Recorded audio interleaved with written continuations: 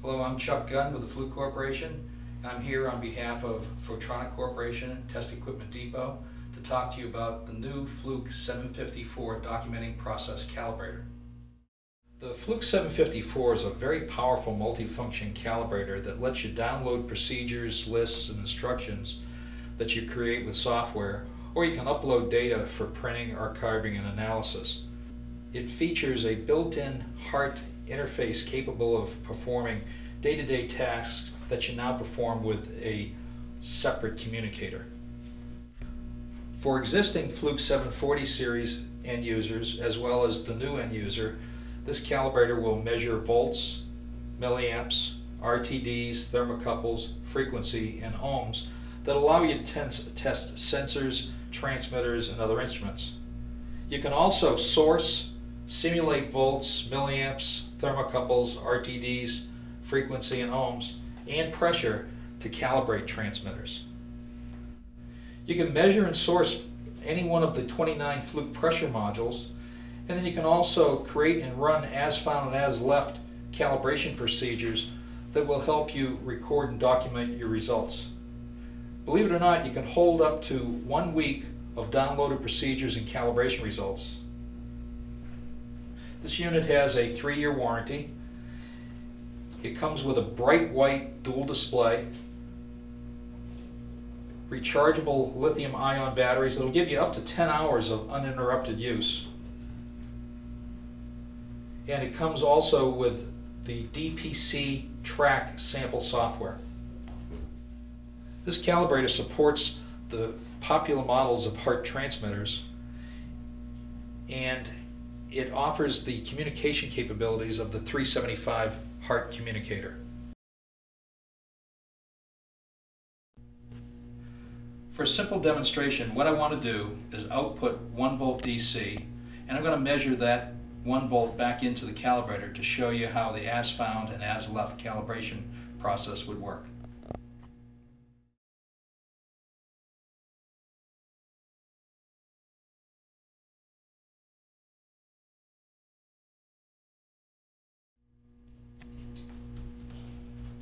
So let's be begin by selecting the function. In this case, we're going to measure 1 volt DC. So we'll select DC volts, Next, we're going to source. So we're going to select our source, select DC volts, hit volts, 1.0, enter. Now we're outputting 1 volt DC. The next step, I'm going to split the screen. Splitting the screen means I get to see the measure and source values simultaneously. Notice that we have an as found step function, and I'm going to use the as found to set up our process. I'm going to select a linear instrument, enter. I'm going to select the measure. So we're at 0% of value is going to be 0 volts. Enter. 100% of value is 1 volt enter. Tolerance, we've selected as 1%, enter. We have the ability to delay if we want to. That would be used for looking at relays or, or switches. We're going to bypass this since we won't have any contact bounce. We're going to the source. 0% of value here is 0 volts. 100% of value would be 1 volt. Next, we get to select our test strategy. Once I've highlighted the test strategy, if I hit the enter button, it allows me to select from a, a list, and in this case, we're going to pick five up and down. These are skewed in 25% increments. We hit enter, tell the system we're done putting together the test procedure, and now it's as simple as pushing the auto test button. We're testing right now. Notice that an error will appear if we are out of tolerance. And you can see that we're proceeding in 25% increments. Once we get to 100% of value, which we're at right now, we'll start to go back down. We're at 75% of value, 50% of value, 25% of value, and now back to zero. At this point on the screen, we see our source data, our measured data, and notice that there's no error.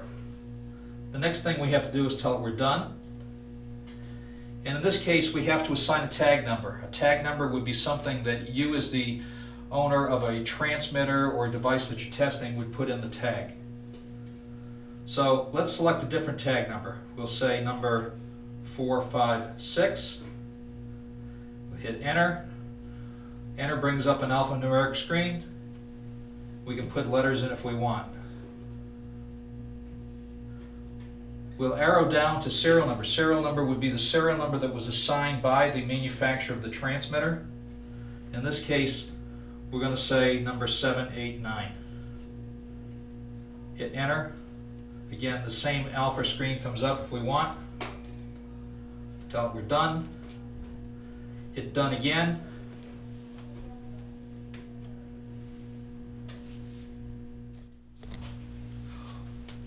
Once the as found calibration is done, if needed, we can do an adjustment. Push the adjust button and notice that we can go to 100% of value with the push of a button. We can go to the 0% or we can go to 50% of value, again with a push of one button. After that, we'd want to do an as left calibration. We hit the as left button. It asks us if we want to use the same procedure, including the same test strategy. It we're done. We're going to go over to auto test and follow the same path. Do the test in 25% steps. We're at 50% right now, 75%, 100% of value. We're going to work our way back down. 75%, 50%, 25%, we're back to zero. At this stage, we check to see what our error looked like. We tell it we're done. Make sure that the tag is the same, that we didn't switch out the transmitter. Tell it we're done. Tell it we're done again. Do a save. Once we've saved, it tells us the date we've saved it and where it's located in the memory. We can continue, make sure that we have the same tag number, it we're done. And we've just done a complete procedure.